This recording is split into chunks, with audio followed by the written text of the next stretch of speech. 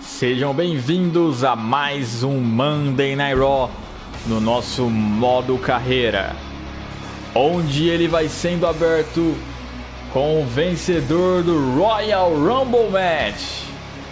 É ele que realizou seu retorno na posição de número 30. Zezo, ex-Mr. Money the Bank, ex-campeão de tag. Ele que havia falhado o cash-in no TLC por conta do seu ex-parceiro de dupla Neville, ficou todo esse tempo fora e agora finalmente está retornando para a WWE, retornou no Royal Rumble e por coincidência do destino eliminou o seu ex-parceiro Neville. Justamente foi o último a ser eliminado e agora está aí como vencedor do Royal Rumble, irá para a WrestleMania disputar o título mundial que ainda pertence a Brock Lesnar. Será? Será que dessa vez ele vai conseguir vencer? Quando ele tentou o cash Brock Lesnar estava bem resistente no combate, não estava sendo fácil para o Zezo. Talvez Brock Lesnar fosse reter mesmo daquela forma. Mas agora o Zezo tem que começar um combate desde o começo contra Brock Lesnar, o que é mais difícil ainda. Mas até lá tem muitas semanas ainda.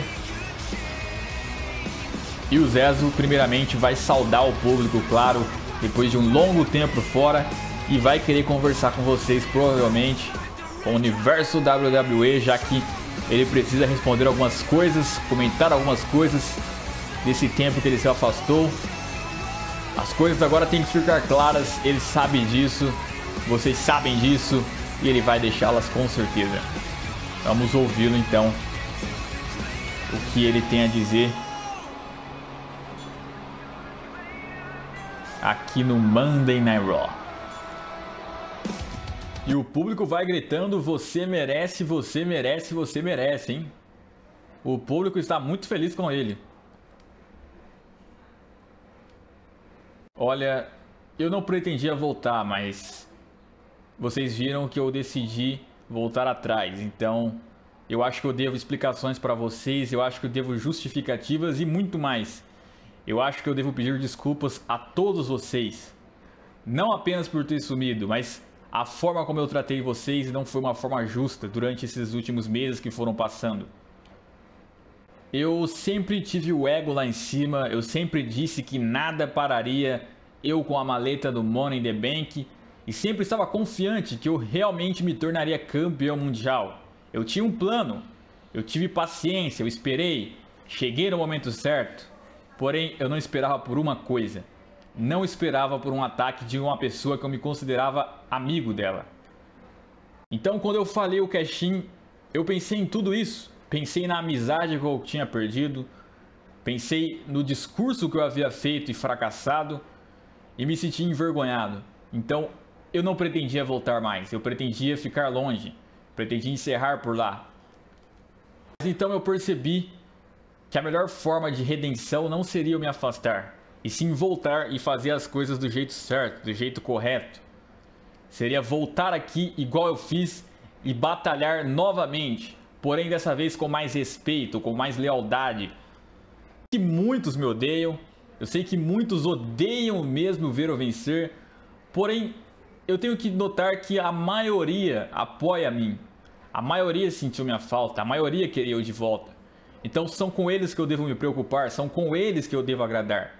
Inclusive eu agradeço a todos vocês que me deram apoio pedindo para que me retornasse, vocês me motivaram muito. Agora eu prometo a todos vocês que dessa vez vai ser diferente. Dessa vez eu vou para WrestleMania e eu vou tirar o título mundial de Brock Lesnar e me tornar campeão como sempre sonhei. E dessa vez vai ser do jeito certo, vai ser com o apoio de vocês. Juntos vamos conseguir. Mas a WrestleMania ainda está longe. E primeiramente eu tenho que resolver algo com o Neville. Até agora eu não sei porquê ele me atacou, eu não sei por que ele se irou tanto, eu não sei por que ele fez isso comigo, mas eu quero respostas. Nunca tratei ele mal, eu sempre tratei ele bem, até mesmo nos momentos onde eu poderia estar com raiva, na verdade eu tive paciência. Mas agora ele simplesmente faz isso comigo, ele simplesmente me trai. Eu não entendo até agora, eu espero que ele me explique isso. Minha dúvida ainda está muito. Opa! Mas falando em Neville, vem aí o seu ex-parceiro que provavelmente vai lhes dar então as respostas que Zezo tanto quer sobre os ataques que ele sofreu, sobre a traição, sobre o fim da amizade desses ex-campeões de tag. Vamos ouvi-lo. Por que eu traí você? Olha, veja bem. Você na nossa tag, você não tinha que ouvir comentários do tipo: "Ah, você está sendo carregado. Ah, você é simplesmente um peso morto. Ah, o seu parceiro que faz vocês seguirem como campeões". Não, você não tinha que ouvir isso, porque era eu que ouvia todas essas palavras. Desde o começo, o destaque veio sempre sendo você. A gente nem sequer quis ser uma dupla, foi o Mick Foley que, por coincidência, nos uniu e a gente conseguiu conquistar o título. É por isso que eu decidi me unir a você e depois disso você sempre foi o destaque, você sempre foi o centro das atenções. Ah, eu sou o Mr. Money the Bank, ah, eu vou ganhar o título mundial, enquanto eu sempre era o peso morto do time e todo mundo sabe disso. Simplesmente cansei de ouvir tantas críticas e achei que se caso eu tirasse a maleta de você, eu seria o centro das atenções da nossa tag, e não você. Porém eu não consegui. Eu fracassei de novo, provando que todos estavam certos, que eu sou o mais frágil entre nós dois. Porém, eu também não podia deixar você ganhar o título mundial, porque minha raiva estava muito grande. Então o que eu quero dizer é que eu não suporto as pessoas dizerem que você é melhor do que eu, que você é superior a mim. Não. Eu sou melhor do que você. E eu quero ter mais um combate com você no próximo Raw. Eu quero ter mais uma batalha. Eu quero provar que eu sou melhor que você. Então, pela última vez, vamos lutar. E dessa vez que vença o melhor de fato. É, então Neville, então justificando por que fez os ataques. E no próximo episódio vamos ter então o último confronto entre eles. Para decidir quem é o melhor. Meu Deus. Que rivalidade. Bom, mas isso vai ser no episódio que vem, porque nesse episódio ainda vamos ter um combate preparatório aqui contra esse homem que está entrando, Kurt Axel. Um combate preparatório aqui no Raw, galera. Só de pra ter o que lutar aqui no episódio. Vocês odeiam quando o episódio só fica nas promos, obviamente, né? Tem que ter combate, essa é a graça da WWE. Mas no próximo episódio, então, para finalizar essa feud de Zezo e Neville, um combate no Raw. Não percam. Promessa de um grande combate igual aos outros, né? E o Zezo já vai pra cima aí do Curtis Axel. Toma, toma. Vamos lá, vamos lá. Suplex pra cima do Curtis Axel. O Zezo que vai encarar o Brock Lesnar. É Somena. Tá aí lá, tem que se preparar bem. Se tiver trabalho com Curtis Axel, meu amigo, esquece de vencer Brock Lesnar. Não vai dar conta tem que enfrentar os melhores, né? E o Kurt Axel vai tentar fechar. Olha só que ousadia do Kurt Axel tentando fechar o combate. Escapa dele o Zezo. Kurt Axel vai acertar o Zezo? Não, o Zezo escapa do Kurt Axel. Colocou lá em cima, faz o Power Bomb. Vai pra ponte, vai pra ponte. Uh, escapa o Kurt Axel agora. Tem muito tempo ainda, tem um Fast Lane ainda. Eliminate Chamber. E aí o Curtis Axel subiu ali, vai fazer ali o giro, derruba o Zezo. Mas só tá de... É o Curtis Axel vai acertar o Zezo, o Zezo escapa do Curtis Axel. Zezo segurou ali e vai fazer o... Oh, vá a merda! Pai, ô Drive, eu tô tendo que pausar toda hora porque tem umas imundícias fazendo barulho aqui que não para, velho. Ô, oh, droga também. Não dá pra gravar em paz nessa casa. Enfim, só desabafando aqui nos episódios do My Career. Mas enfim. Zezo, segunda corda. Vai fazer ali o giro pra cima do Kurt Axel. Tá indo muito bem o Zezo, hein? Indo muito bem. Mais um mortal pra cima do Kurt Axel. Beleza, beleza. Sem enrolação.